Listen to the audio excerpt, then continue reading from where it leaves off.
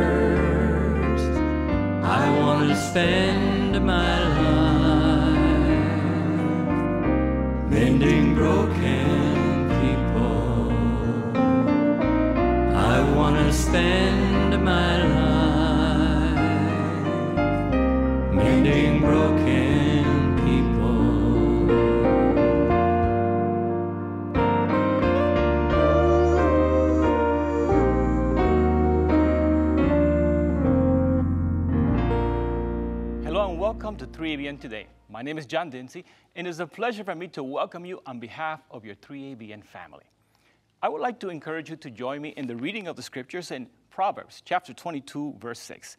Train up a child in the way he should go, and when he is old, he will not depart from it. Today, we are focusing on Christian education. And to continue this process of training our young people, not only to serve in the world, but also to let their light so shine before men that they may see their good works and glorify our, our Heavenly Father, we have two academies that we want to focus on today the Indiana Academy and the Milo Academy. Now, considering these two schools, these are Christian Seventh day Adventist schools. I went most of my life to secular schools, and I can tell you, it is a challenging environment. I was offered drugs, I was offered the uh, privilege, eh, they called it, to join a gang. But these Christian academies offer something different. Offer our young people an opportunity not only to learn the academic subjects which are necessary for school, but also to learn more on Jesus Christ. They lift up the standard of truth. They help our young people to be prepared to face life's challenges because it is a challenging world we live in. A challenging world indeed. Today's difficult times demand that our young people are offered the best opportunity to train themselves not only to face life, because we know that Satan is as a roaring lion seeking whom he may devour. So we want to encourage you to consider the Academy, Indiana Academy. Pastor John Lomacang will be focusing on this academy. He's the pastor of the Thompsonville Seventh day Adventist Church, and also you have seen him on many programs here on 3ABN. The second academy that we would like to focus on is Milo Christian Seventh day Adventist Academy. Sister Jill Morikone, our vice president and COO, will be talking to our folks, our friends at the Milo Academy, so that you can learn about these academies, learn what they have to offer, and then you will see that there are other opportunities, uh, good options that you should consider for your young people. So now it is my pleasure to uh, hand it over to Pastor John Lomacang as he starts us off with the Indiana Academy, and then we will hear Sister Jill Morikone with the Milo Adventist Academy. Hello, and welcome to a very important segment about Christian education, more specifically, Seventh day Adventist Christian education. And today, in our segment, we're highlighting the Indiana Academy. And I have with me today uh, Steve Baughman, who is the principal of the Indiana Adventist Academy. Steve, are you there? Hi. Hi, Pastor John. Thanks for having me. Yes, good to have you. Good to have you. I tell you, we're thinking about education, and what a challenging year this has been. Uh, 2020 is an amazing time for anyone to be alive, uh, such an unpredictable time. But um, before I go into talking about the challenges of and the blessings of uh, Christian education, more specifically at Adventist Academy there in Indiana, just give our audience a little overview of who you are, what you do, and where you're from. Sure. So uh, my name is Steve Baughman. I uh, I actually was born in Michigan, but I grew up here in Indiana. I'm an alumni of Indiana Academy, so in a sense, I have uh, come full circle, and I have in fact come back home uh, here to IA. Uh, I went to Southern Adventist University. Uh, when I graduated there, I just had a burden and a passion to work in our boarding schools because of the role boarding schools had played in my life. And I, uh, I taught for 10 years in Tennessee, and now I am starting my eighth year here at Indiana Academy as the principal. Wow. And so just blessed, blessed to serve, and it's a, it's a, it's a good work if you can get it. Wow, it's your time to give back, and that's a good thing. I've, I've seen in the past some students have gone to academy or gone to their universities or grown up in similar situations, but it's so good to know that you can come back to a familiar territory. Is it the same school that you were raised in or the same school you went to?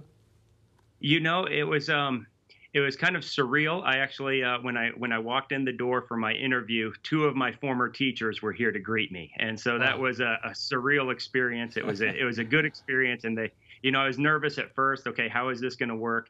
but uh, they welcomed me with a warm embrace, and I knew we were going to do great things. So it's been a lot of fun, and now I'm blessed. I've been able to actually hire some of my former students, and wow. so this is uh, it's it's it's a joy to be in service for the Lord. I think the phrase that fits here is you went back to the future. That's right. That's, That's interesting. Right. Very apropos. Wow. Well, tell our audience a little bit about Indiana Academy uh, because some people might say, I know exactly where Indiana Academy is. They may even be an alumni of Indiana, Indiana Academy, but some people might say, I'd like to know more about uh, Christian education, specifically Adventist uh, Christian education at Indiana Academy. Give us an overview before we dive into the, uh, what Indiana Academy does specifically. Sure. So we're located in Cicero, Indiana. We're about 30 minutes, 35 minutes north northeast of Indianapolis. Uh, we are a secondary boarding academy, so that means we service uh, grades 9 through 12. Uh, we're a coeducational school, so guys and girls, uh, each living in separate dorms, uh, attend. Uh, we offer a, um, a fairly standard um, curriculum experience, academic classes, and things of that nature, but then we incorporate a lot of our um, critical elements that we think are important to a well rounded and balanced education. Mm-hmm. And so we're here in rural Indiana but not too far out of town that uh, you can't get to where you need to get in time. Wow. Well, I know the school is more than 100 years old. What's the founding date of the Adventist Academy there in Indiana? Sure. So Indiana Academy originally started as a uh, as a training institution, as many of our edu- uh, institutions did, in 1902 wow. uh, in Boggstown, Indiana, and then shortly after that relocated here to uh, the lovely hills of Cicero. Well, at the time there were hills. Since then, uh, those hills have kind of been eradicated, but uh, the hmm. lovely hills of Cicero since 1902. Wow. And you have an, a student population in the average of how many? Yeah, so we uh, we've been averaging over the last five to eight years about 110 students, and so that's been a, a nice number. We're not um, a terribly large school. We're um, our, our girls' dorm is actually at capacity this year, Mm-hmm. And so we uh, we have room for a few more students, but we're maybe built to really be in that 130 to 150 range. So we're okay. not too far off of an ideal number. Good, good. That that gives you an opportunity to be more of a one-to-one, not an overwhelming environment because some schools are That's so right. large that sometimes students feel like they get lost in the sauce, and they don't feel that. that right. uh, yeah. So a very homey environment. That's right. We uh, we do. We have a, a, nice relationship. It's about a ten to one staff to student ratio or student to staff ratio. Mm-hmm. So you get to actually know the students. We uh, we form faculty families where our students come into our faculty homes uh, from time to time throughout the year. We really want to get to know our students, know their names when we're passing them in the hallway. Uh, be able to stop and pray with them and uh, really foster those relationships. I think it's those relationships that are what um, set Seventh day Adventist education apart and uh, specifically something we focus on heavily here at Indiana Academy. Good. Now, because of it being a, an Adventist academy, uh, do you include Bible in your curriculum? And I'm just asking that question for our audience. No, absolutely, absolutely. Uh, we we absolutely have a religious program. Uh, we incorporate Bible into each of our um, core years. You know, ninth grade, tenth grade, eleventh, uh, and so on. Each year has a Bible class. And then beyond that, we have regular worship experiences, worship service, uh, really wanting to focus on um, equipping our students with skills for personal evangelism. So not only can they grow their faith, but then they can go and share that faith. Mm. And uh, that call to action that I think our Adventist schools are. Um, are called to, to be something special about. So, if you define the mission of, of your academy, what would it be? So, our mission here is to educate the whole student to know and serve God in their community. We want them to know God, develop that relationship that can save their lives for eternity, but then to use that knowledge to serve and uh, to go out and be missionaries wherever uh, wherever their paths may lead. Once they uh, once I shake their hand in May and grant them a diploma, we want them to realize that they can be missionaries wherever they're called to serve. Have you as a, how long have you been there as the principal? You may have mentioned that. This is, yeah, no, this is the start of my eighth year. So seven full years, and this is number eight. Okay. Wow, that's that's a wonderful thing to be able to do. You know, I would think uh, as you talked about the surreal experience of coming into the building where you actually was a student, and then seeing some of your former teachers. Uh, how long? I'm just kind of asking a completely different question. How long did it take for you to flip out of the student mode into the teacher's mode when you're exiting a class because you know you're kind of going back am i going to class or am i going to teach the next class well that's that's accurate you know part of it uh, it was actually a little bit of a call to action because I walked into our science lab when I first came back and I said, Friends, this can't look the exact same as when I graduated X years ago. And so we got to work renovating some things. We felt like it was time to maybe do some updates and uh, to do some proper renovations to some of our programs. You know, I shouldn't find my name carved in the same desk I sat in as a sophomore. and so oh we, uh, we, uh, we, we had to make a few adjustments. But um, thankfully, I'd been blessed with a lot of opportunities. Um, to serve on some different committees while I was a teacher for 10 years in Tennessee. And so I think that helped me transition out of that mode of, um, okay, I'm so green that I don't know what I'm doing. Um, but uh, we we hit the ground running pretty quickly. Uh, I, I, felt a call to come into administration because of what I felt like our Seventh Day Adventist schools could strive to be, mm-hmm. and um, and I felt like this school was. Um, leaning that direction already with some of the programs that uh, my predecessor had helped establish. Mm-hmm. And so I was excited to come here and uh, really get to work about incorporating element, elements of service into our school. That is really nice. I like I like how you said that uh, there shouldn't be the same desk that I carved my name in. And that's a, that is a call to action. I like that you know, and sometimes we uh, we get mad at these kids, uh, you know, for some of their behaviors and some of their decisions, and sometimes we forget that maybe we used to be kids too, and so uh, that helps build that relationship to stay humble and recognize I probably wasn't always on the right side of uh, the principal's desk when I was a, a student here myself. Yeah, you know, somebody once said, uh, "What kind of what kind of Christian are you?" And somebody once said, "A pantheist." And they said, "What is that?" I said, "Well, it all pans out in the end." and uh, that's good to see where you started and where you are now, making an impact. You know, you brought a video. We have a video we'd like to show about the Indiana Adventist Academy, and uh, just tell us kind of what we're going to see in this role. Sure. So this is um uh, uh, some of them are there's still shots of some of the the programs and some of the areas of emphasis here on our campus. We are really um, embracing um, um, education that equips students to take action. And so you'll see pictures of our students serving others in different capacities as we serve them, and it's just uh, an exciting uh, hopefully a, a, brief snapshot of some of the experience here at IA. And the uh, the music that is being sung is by our um, select choir, and so I was excited. It was something together during our um, coronavirus shutdown last school year. Okay, well let's go to that role right now about Indiana Adventist Academy. hope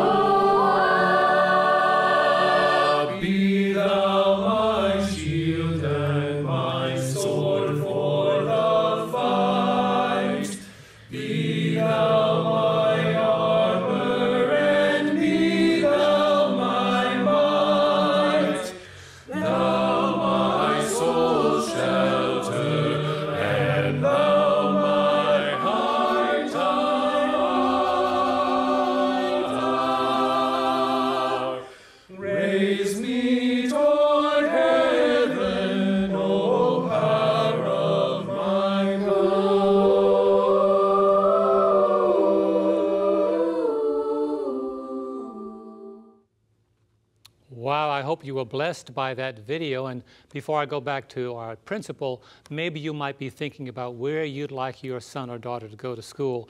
I'd like to recommend uh, the Indiana Adventist Seventh day Adventist Academy. And uh, Steve, are you there? I am here, John. Thank wow. you so much. That was very inspiring. I like that uh, multiple screen. I always wonder how they do that. I've seen that a few times, that that was beautiful. Now, are those present students or some of those of prior students? Um, some of those uh, some of those photos are over the last year or two, but fairly fairly recently. Um, but now the students who were singing, that was our select choir at the end of the school year last year when we were shut down due to uh, the coronavirus. Mm-hmm. Um, we continued with remote instruction, and so our, we one of the big struggles was what do you do with your music classes? We didn't want to just outright cancel them, and right. so our music director. Uh, Philip Bird, who is an incredibly talented individual and musician himself, he uh, he worked with some of the different software programs to make sure that they could continue to uh, rehearse, to practice, mm-hmm. and uh, eventually put together that piece, kind of as a final um, end of year uh, performance. Wow! Well, thank you for that. That was wonderful. Tell us about some of your community service projects, uh, because you talked about the community service oriented aspects of the educational program there. That's right. We uh, we have a program. It's been around for um, I believe it's its tenth year or eleventh year now, and it's called Project 58. It's based on uh, the principles of Isaiah 58. You okay. know, um, counsel counsel to take care of others, to serve others, and then your light might shine. And uh, and we go out once a month, uh, our entire student body, our full faculty and staff, and we um, we serve in different. Uh, we call them service pods, where we go and we go serve in different uh, capacities. Um, so our students will go work at a food bank, or we have students who go and work with the uh, Christmas Behind Bars ministry located yeah. in northern Indiana. We um, we work at some of the elementary schools. We have a group of students who bake cookies and deliver them to local community businesses, and mm. it's a uh, it's a good time when um, you know some the students will go to a business and uh, and the business will start to recognize them because the same students will serve each month, and they'll say, "Oh, finally, we've been waiting for to see you guys again, and uh, and it's just a lot of fun um, to uh, to be able to go out and build relationships with our community. You know, yes. one of my um, one of my uh, calls to action has always been if our school didn't open, would anybody outside of our circle know? Hmm. And uh, and that's that's always kind of been a, a sense of humbling uh, recognition that we have a role to play, not just to stay open. You know, if we aren't ministering to our community, if we aren't ministering to our neighbors, if we aren't developing those relationships, uh, what really are we doing? And so we want to equip our students and enable them to be a part of that kind of service while they are still students here, not waiting for some. Um, some uh, idea of the real world. The real world is now, and these kids are experiencing it. That's right. I'm glad you have that attitude as a principal because a lot of times we say, the, our young people are the church of tomorrow. But if we make yeah. them the church of today, then they'll be ready for tomorrow. Thank you for that dedication. Talk about your work programs there, because I know you talked about the community aspect, but what about the work programs that students could get involved in, maybe for credit or some kind of benefit to their education? No, that's right. And uh, I think it's important our students are developing work ethics now and uh, we want to equip them with some of those skills. And so, uh, nearly 100% of our student body is actively employed uh, and primarily employed by us here at the academy, but in mm-hmm. different roles and different avenues. You know, you have your your standard maybe um, teachers assistants or janitorial type thing, but we have a couple of exciting programs. Uh, we have an Indi- Indiana assembly and packaging program here where we mm-hmm. make and assemble things on contract, and our students do that um, as part of their uh, daily program. But then also here recently, Indiana Academy has taken over the um, managerial role of the Adventist Book Center okay. that was previously operated by the Michigan Conference. Um, they uh, they were making some changes there in the Michigan Conference related to the ABC. And so we have a, a physical building located here on our campus, and uh, it kind of made sense to incorporate that into Indiana Academy's mission as well. Mm. And so that's that just started here recently, but we're hoping to grow that to be a, a, a part and a component of our program here with students uh, working there at the ABC, but also maybe using it as a community outreach center as well. Okay. Uh, also, part of that, there's a biology water cleaning project. Talk about that. Sure. So this is something um, that's kind of exciting. It's um, it's a it's that idea of putting our education into practice And so when we go and we rake a lady's yard, you know, which is a fantastic opportunity to minister and to serve that lady, that's um that's kind of a pure sense of community service. Uh, we want to see also, though, what we're doing in the classroom being incorporated into acts of service. Mm-hmm. And so, uh, our biology teacher, Mr. Art Miller, who's fantastic, he has worked with the uh, the local city here and their clean water project, where our students, as a part of their biology class, will go and take water samples from the creek that um, that runs adjacent to our property here, mm. and then they'll they'll analyze that as a part of their class but then the data that they're finding, and normally in a, a, traditional school environment, maybe you just make a PowerPoint you present to your classmates. Right. They're actually taking that data and uploading it to a state database about the water cleanliness in the state of Indiana. Wow. So what they are doing is applying their learning, you know, biology, but actually using it in a way that the, the greater state of Indiana can benefit from. And that's really what we want to see happening uh, through our entire curriculum is – elements of intentional service mm-hmm. that is then being um, being able to use the uh, the practical side of the content they're being exposed to. Wow, and I know that we have this environment where touch and social distancing is all you know discombobulated, wearing masks and how yeah. many feet apart, and when you cough, turn your head and wash your hands for 20 seconds. How is the academy fitting into this responding COVID environment? Sure. So it definitely has been. Um, it's been a bit of an experience to go through, as everybody's had to adjust. So did we. And uh, we shut down last year when the governor ordered that schools would go to remote learning, and then we were prayerfully making plans to be able to reopen this school year. And and and thankfully uh, that has happened. We were able to. Uh, to reopen, reopen our dorms. Uh, we've been investing in a lot of a lot of hand sanitizer. I could probably mm. fill an Olympic swimming pool with hand sanitizer. wow! But um, but we've still been able to maintain uh, the relationships and we're having to reprogram some of our regular programs where maybe we take students out on a saturday night um, you know maybe we'd go ice skating or something like that we're having to reevaluate each of those programs to make sure that what we do is uh, safe mm-hmm. but uh, we're we're able to kind of even more foster that small uh, family relationship uh, we've been doing bonfires on campus. We've been spending a lot of time outdoors, just getting fresh air and being uh, being uh, reasonably socially distanced away from our neighbors. But uh, it's been a it's been a good thing.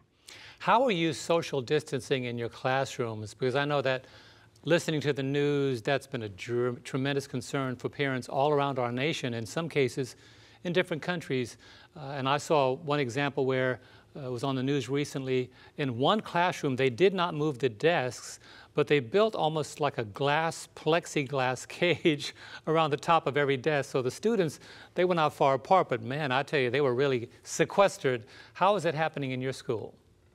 Sure. So we uh, we did do the plexiglass dividers in our cafeteria. We felt like um, where where you're eating and you can't wear a mask, we felt like that that that potential risk might be a, a little stronger in that area. So we did use the uh, we built a bunch of plexiglass dividers there in our cafeteria and spread the chairs out, kind of minimize some of the seating at each table. Mm-hmm. In the classrooms, we spread the desks as much as possible, and we are having our students wear masks while they're in the classrooms. And if we can't kind of ensure that um, that adequate social distancing. Uh, our students and our faculty and staff are all wearing their masks. Uh, we look forward to the day when that's not a thing, but uh, in right. the meantime, we'd rather we'd rather be wearing our masks and be open than uh, be maskless and having to do remote education. You know, I saw one of the principals of one of our local schools. You know, they have a sports program. Kids play basketball casually, just in, in an intramural way. And I was mm-hmm. amazed mm-hmm. they were running up and down, running up and down the court with masks on. I thought, man, how is that? How are you assimilating that? Because I know that you know the young guys they want to play pickup ball and maybe volleyball. Right. How are you doing that in a COVID environment? So we are um, we are allowing we, we do have an intramural program, kind of yeah. like what you're explaining, where it's maybe a little more casual, but it's still active uh, yeah. education. Uh, and we're following our state guidelines, which those state guidelines uh, have given some exemptions for maybe you, you don't need to wear a mask if you're participating in physical activity, right. as long as you've maybe taken certain personal safety measures. You're you're washing your hands, you're doing this type of thing before you begin. Right. And so uh, we are still we are still uh, having those moments where you know, they're teenagers, where teenagers can be teenagers. That's right. And um, and then um, just doing our, our best to still stress those um, personal sanitation practices, washing your hands, using hand sanitizer, uh, trying to avoid touching your face, those types of things. Now, what about the students that said, I want to be a student of the Indiana Academy, but I want to do it on distance learning. I'm not ready mentally to come into the classroom. Have you had to deal with that at all? You know, I, I, I, was pleasantly surprised. This year, our enrollment was actually up over wow. last year. And we had a, a, number of students applying even before we necessarily had rolled out our COVID protocols. Wow. And so there was, a, there was a desire and a passion to be in the boarding setting. Mm-hmm. And I think that that comes from knowing that we have a smaller school. I think that maybe there's a sense of safety. Um, relative sense of safety, and we're hoping that uh, we continue to remain a, a, safe and open environment here. But um, we haven't offered um, synchronous remote instruction. Um, okay. But we are ready to go to remote learning if, uh, if for the sake of safety of our students, or if the governor were to shift gears on education, we'd be ready to, to switch again. But uh, we much prefer the uh, the in-campus, uh, on-campus, in-person experience. Okay. If a student is watching this program that's maybe thinking about an academy for the future, what would you say to that young man or that young lady? Uh, I would say give it to God. Uh, there are there are it, it's an amazing thing. Uh, Seventh Day Adventist education is such a tremendous blessing, and there are so many quality schools out there. If uh, if you were to look at our school's website, and if you felt like Indiana Academy was the place for you, and you gave that to God, and you felt that that was where He was leading, I want you to be here. Mm-hmm. If you give it to God, and He makes you feel like maybe you should be at one of our other sister institutions or at another Adventist school, I want you to be there. Uh, I'm if God's calling you to Nineveh, I want you to be in Nineveh. I don't want to be any. I don't want to be anybody's Tarshish, but uh, I tell you, uh, God's doing a good thing here on campus. It's a it's a joy to be a part of it, and uh, God's doing a lot of powerful things across this uh, across this division in Seventh Day Adventist schools. And I think now more than ever, now is a time when our students need to hear the the life changing and world changing message of the Seventh Day Adventist Church, and it's um, I'm I'm in overwhelmingly overwhelmingly blessed to be able to be a part of it here in Cicero at uh, Indiana Academy. Well, thank you, Steve Baughman, the principal of the Indiana Adventist Academy. We thank you so much for taking the time to join us today. And if you'd like to find out more about the Academy, go to iasda.org. I'm John Lomacang for 3ABN, and this is the blessing of what Christian education can do in your life and for your children. Welcome to Milo Adventist Academy, a Christian private boarding high school located in Southern Oregon. The entrance to our campus is a covered bridge, which is a local landmark. Milo is surrounded by national forest and sits along a full mile of the South Umpqua River allowing for learning beyond the classroom and opportunities to connect with God through nature. The campus has a covered oval walkway that connects all the buildings, the dormitories, the church, the cafeteria, and the classrooms. Hi, I'm Randy Thornton, principal at Milo Adventist Academy. I believe that location has a profound impact on the culture of any institution, and that's certainly the case here at Milo Adventist Academy. I had a colleague tell me when I first got here that students feel safe at Milo. I thought that was a little bit of a maybe even cheesy cliche and that they were talking about physical safety. I learned right away that certainly is true, but even more importantly, that kids feel safe to be themselves. Whether you're from another continent or uh, right here in our backyard, whether you're rich, whether you're poor, kids feel safe to be who they are uh, here in the Milo family. So my name is Michael George Fitzgalen Heston, and this is broad forking. I'm gonna be a junior next year. As far as I can tell, it's just a manual way of doing the rototill. It helps break up the soil so that the roots of the new plants can grow inside. I like the fact that we're surrounded by nature. I like the seclusion, the ability to be myself. To be accepted. When I first came here, I immediately settled in and it felt like home. These things get bent out, uh, out of out of their uh, places sometimes. So, hey Minor, could you help me? Yeah, thanks. Oh, you got a hammer. Milo has a work-study program which gives students an opportunity to do their part in funding their education. My name is Minor Aguilar and I'm here at Milo Academy learning how to do fabrication. So I got tired of beating that broad fork yesterday. So now we're making some parts to make it good and fix it. On this broad fork, we'll test the piece we made and see Mhm. what it looks like. Okay. What do you see? I think we need to keep working on this side a little bit more so the end can touch. In addition to traditional classroom education, we provide a wide range of extracurricular and vocational classes, including photography, horsemanship, heavy equipment, residential construction, culinary arts, and so much more. This is our greenhouse for the agriculture program. These are baby plants. We have some more over here. And we take these out to the garden and plant them and it's helpful because we grow the food for the cafeteria and for the Milo market so people can buy the food. And this is one of our baby cucumber plants, just about ready to be harvested. Welcome to Milo Academy Horse Barn. My name is Jeff Miller. Hello, my name is Michaela Frost, and this is Lucky. We have approximately 20 horses here. Some of them are private horses that students bring, some of them are big lake horses, and some of them are owned by Milo Academy. Here at Milo Academy, we have a horse boarding program where you can board your own horse. Milo Academy students built the arena and also the stalls. It gives the students a chance to get out in nature, go for horse rides. Hope you come to Milo Academy. Bring your horse when you come.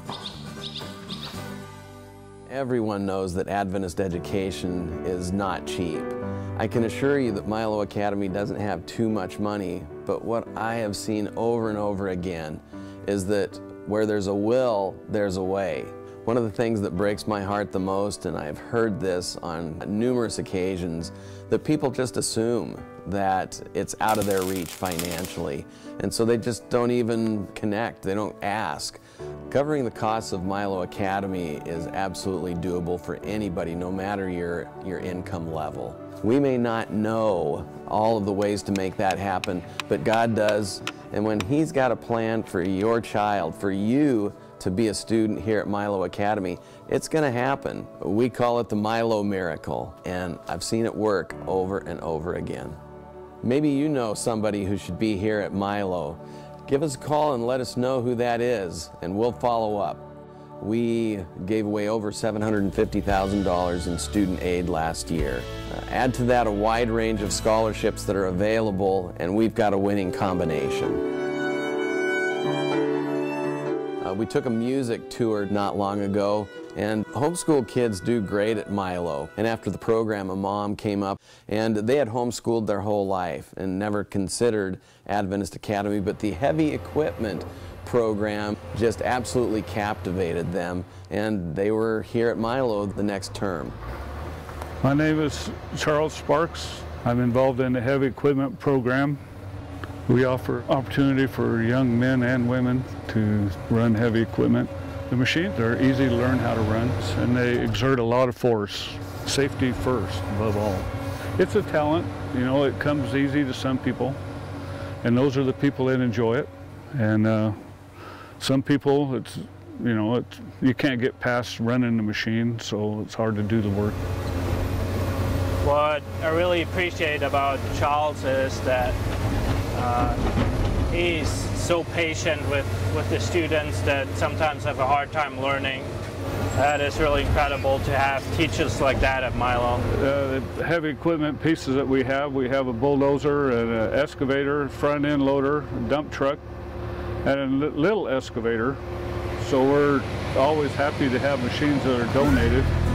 We rebuilt a D6 Cat uh, from the ground up right down to the paint. We couldn't do Milo Academy without the many partners, the, the donors that help make the Milo experience possible. Whether it's donated plants, heavy equipment, probably the biggest of all, the student aid funds that are so necessary for kids to be here. God has blessed us with a unique environment of international connection here with almost 30% of our student body coming from all around the world. I'm from Mexico City. I'm from Moscow, Russia. and we're international students here at Milo Adventist Academy learning how to do construction.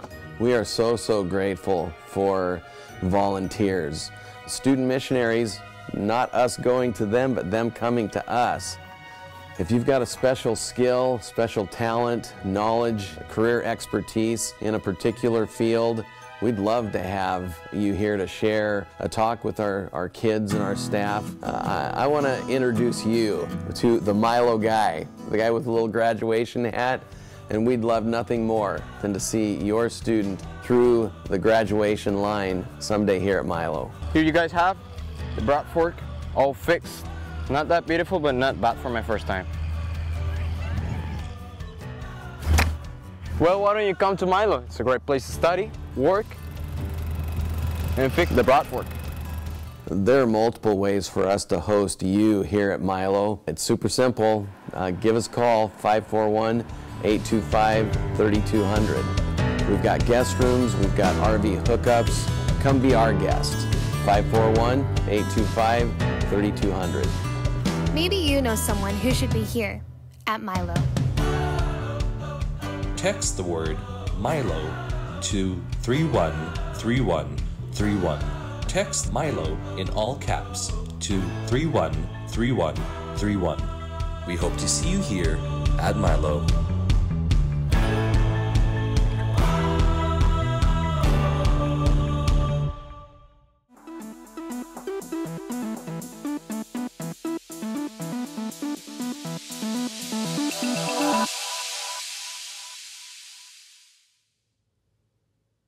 I'm Jill Morikone, and I was watching that video and just kind of sat back and thought, I want to go back to school. Did that make you want to go back to school? What an incredible program they have at Milo Adventist Academy. And it's my privilege now to introduce to you, we're going to have a Skype call with the principal of Milo Adventist Academy. That is Mr. Randy Thornton.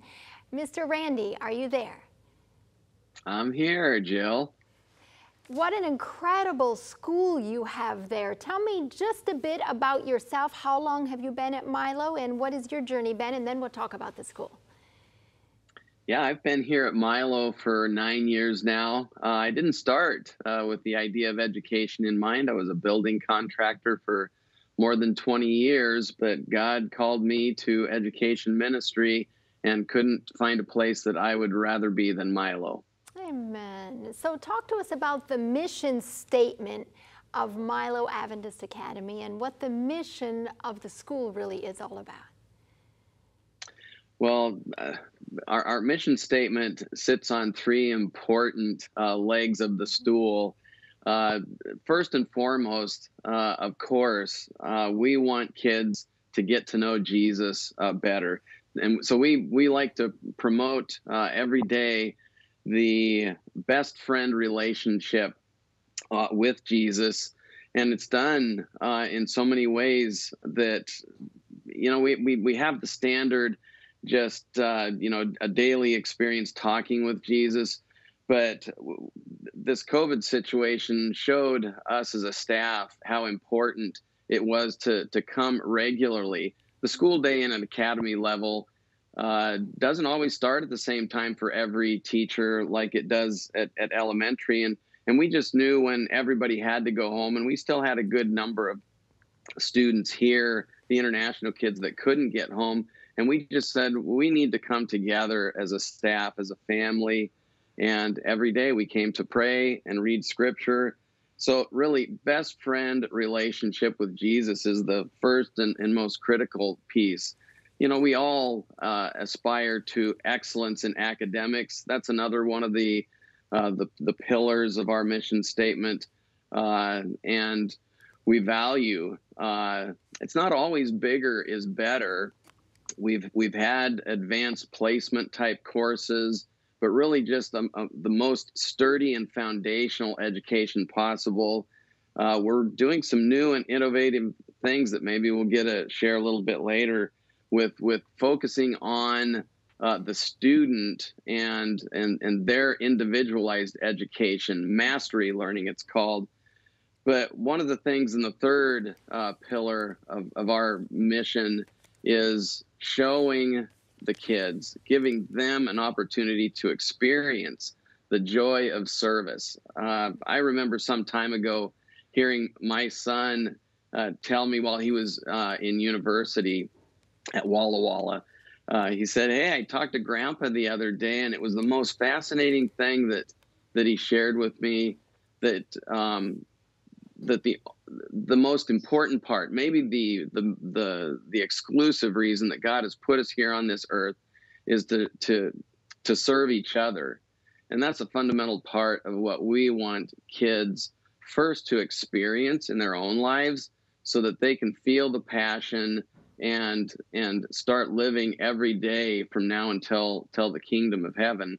Uh, serving others is what it's really all about. Uh, Amen. And, and we wrap it up with we wrap it up with this little saying in a safe, nurturing environment. Uh, like I shared in the video, it, it, it seemed like a cliche to me at first that uh, here in, in, in, this beautiful remote location that it was a physical safety, but really no, it's a soul safety that that that I'm safe being me, who God made me, and Milo gives me that opportunity to, to learn and experience that. Amen. I love that, Mr. Randy. That's great. What a wonderful threefold, um, as you called it. I like that. There's Jesus is my best friend, excellent academics, and then experience the joy of service. I mean, that is what we are all called to do and to be as Christians, and what better way than to train young people in that? Talk to us a bit about the work study program. I was really fascinated by that when I watched the video. Yeah. Um, and the work study program, talk to us about that. You know, some time ago, um, I learned uh, through some reading in the Spirit of Prophecy that it's so critical. Uh, again, the importance of excellence in academics, but uh, but Sister White shared that that if we were to only be able to access a one-sided education, and I'm grateful that that at this time in life have to be limited by that one thing, and whether it was the book learning or whether practical life skills that she talks so much about, there's absolutely no question, she says, um, we must unhesitatingly answer that that it's that practical life skills mm. that are most crucial to to our uh, success in in life and again serving others so that's what's really drawn me and my staff to really embracing the the practical life skills. We have all of the excellent uh, connections with the academic classroom, all of the standard things that you would expect to experience, but we want to take it beyond that and work. When I was going through academy, it was simply a way to help you fund your your uh, Adventist education. Correct. But but here we want it to be a core um, curriculum, not just a financial piece. So we it, it's it's part of a required uh, course of study here at Milo, and we kind of put the cherry on top with these vocational certificates uh, that you saw in the video, and, and growing them every day. And a new one we call it the innovation lab. You know, dealing with 3D printers and uh, CNC machines and some coding fun stuff. Uh, a, a, new one. I, am I'm, I'm grateful. Uh, I also, again, to mention Walla Walla University and a new program that they are making available not just to Milo, but an introduction to engineering. Fits very well mm. into uh, our our view of of this vocational certificate opportunity. So what would be some of the vocational certificates that the students could um, receive? Yeah. I obviously heavy equipment might be one because I saw some of that yeah, or construction. So talk to us some of some of what those opportunities are for the students. Yeah, so like you mentioned, the heavy equipment um, operation and, and repair, uh, construction. Uh, there, there is another option that we have. Culinary arts. Uh, we have uh, even one student that came to us last year from Russia, and she uh, wanted to have to get get more advanced learning, and she's taking a second year uh, after she graduated. We created an advanced level of, of culinary arts, and that innovation lab that I that I mentioned, agriculture. I don't want to forget agriculture. Yes. has been a very fundamental part of of our program both academically, uh, but but also you know the integration uh, with the uh, the cafeteria and getting uh, healthy and quality food for the kids uh, to eat and to learn um, how they could do this uh, themselves when they they graduate for for life. And in our and our Milo Market is is the name we call it. That a lot of our produce and other things go into the market, which is a community outreach, uh, probably more than anything for us. Uh, it's it's grown as a as a financial uh, benefit to the school, but I've heard uh, some of our staff. Uh, Pro- my, my number one favorite staff, if I uh, can say that, my wife. That's a good thing. You she, can say that. she, she's talked about how it's not important how much money we make in the market. It's the people that we draw in to our campus and that we can really can reach. So it's community building uh, there as well that we're trying to to to build with our uh, academic programming too. That's really a win-win-win because it's helping the students and it's teaching them life skills, which is amazing. It's helping the school financially for the financial benefits that it would reap, and it's the joy of service. That was the third, I think, of your three-prong approach, that joy of service and outreach in the community. I love that. So let's shift to the mastery learning. What is mastery learning, individualized learning, and more student focused instead of teacher focused? What does that look like at Milo Academy? Well, you know, traditionally for more than 100 years, um, in all forms of education, Adventist education included, it's been the sage on the stage, you know, that teacher up front, the font of knowledge.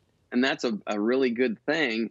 But all students, all all people, including us, we learn at different rates, and it just breaks my heart. Um, and I, I see it every year as a teacher, as an administrator. Um, students who need more time with a particular topic, and I see other students on the other end of the spectrum who are are they they got it and they're excited and raring to go uh, to the next level but we have to wait because we usually, again, typically take whole group um, at a time. But when we can in, individualize, then it gives the power back to the student for their own education. So mastery says, um, if I don't quite get this algebra topic and I need a little bit more time, we're going to give you that time we're not going to move ahead and leave you uh, behind us or that advanced student. We're not going to hold you back. We're going to let you um, get off and run with that. So, mastery learning doesn't leave holes in their uh, academic planning. And we're, we're uh, grateful to engage in some uh, tools that have been developed um, not super recently, but a, but a number of years ago through um, Marzano Research, and where it gives that pace of learning uh, to the student. Always uh, teacher directed. There's still a lot of important um, whole class dialogue. Bible would probably be my my best example where we need that time, kind of like Sabbath school class, to to as a group to chew and to share between each other. Uh, you know, we've we've heard about the the the, the, the old-fashioned three three R's: reading, writing, and arithmetic.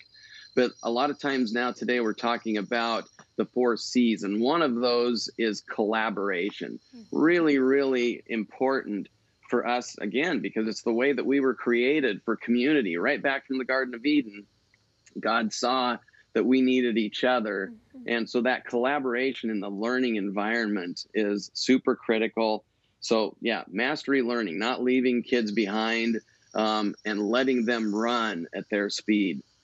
We're all individualized people. I mean, that's how God created us. So, what a Mhm. wonderful concept to include that and involve that in the classroom instruction and the curriculum and what takes place. That is very good.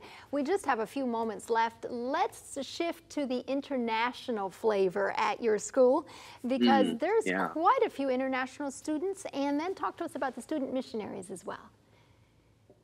Yeah, you know, we know that we live in a, a global community ever more today than, than than ever before. You know, it's not something that that I or we as a staff visioned. And how often do we see God's leading um, in our institutions and in our in our own personal lives that way? But it was through our our our mission service, like you know, virtually every academy and many other schools do um, going out and and sharing. And those those mission experiences again i think everybody sees this as we think we're going out to do a work for for somebody else. And and surely we accomplish that.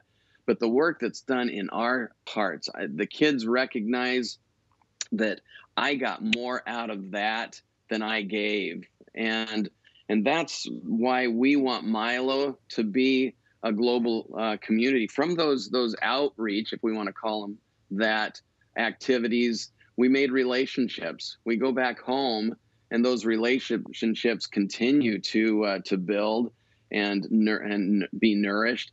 And some of these these friends that the kids make when they're when they're somewhere uh, in another continent, they say, "I want to I want to go to Milo too." And we say, sure, we've got a place for you. And that's how we built our international population. Near 35% of our of our student body is uh, that. I, I love saying to, to many, that's exactly what heaven is going to look like because there aren't going to be any Adventists in heaven, no Americans in heaven, no, you name it, fill in the blank. We're all just going to be children of God together. So we're just grateful for that that that whole family of God feel uh, that we uh, have here at Milo. Amen. Thank you so much, Principal Thornton, for taking time to share with us today what God is doing in and through Milo Adventist Academy. Want to remind you if you have a young person who is interested in attending an academy, if you have want to financially support the ministry of what God is doing at Milo Adventist Academy or maybe help fund some of those worthy students, you can always contact them at miloacademy.org. That's Milo, M-I-L-O, academy.org. At 3ABN, we stand in support of Christian Seventh-day Adventist education, and we're so grateful for what God is doing in and through Milo Adventist Academy. Thank you. Praise the Lord. Well, there you have it. You have heard about the Indiana Academy and the Milo Seventh day Adventist Christian Academy. Two fine academies that we would like to encourage you to consider to bring your young people to continue their education, to continue their education and prepare them for college and prepare them to face life's difficulties with a stronger and firmer hold on Jesus Christ. Because these schools offer the teachings of Christ in addition to the regular academic subjects. We praise the Lord for these schools. We encourage you to pray for them, and we encourage you to pray for our young people that in today's time, they are facing one of the most difficult times to live in this world because we are living in the last days. And I praise the Lord for 3ABN. 3ABN that God has entrusted with a mission to preach the undiluted three angels' messages to the world. I want to thank you for your support of 3ABN and encourage you to continue supporting so that we can continue preaching the everlasting gospel 24 hours a day, reaching the world with a message that the world needs to hear during this time. As you know, things are happening at such a quick pace that we must do what we can to bring the gospel to as many people as possible in the shortest time as possible. And for those of you that are listening to me right now that have not yet given their lives to Jesus Christ, I do have an invitation for you. Give your heart to the Lord Jesus Christ, and you will begin to have peace and happiness that begins in this world and continues forever. God bless you.